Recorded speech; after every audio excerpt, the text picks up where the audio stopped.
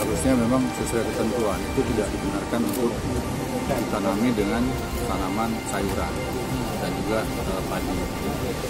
Tetapi kenyataannya seperti ini, sehingga uh, ke depan apabila masih seperti yang kita saksikan, maka sangat mungkin akan terjadi longsor kembali.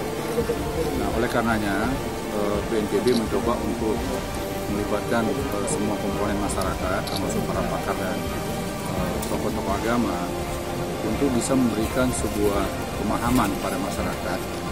Jangan menanam jenis tanaman yang dapat menimbulkan risiko bencana. Ya.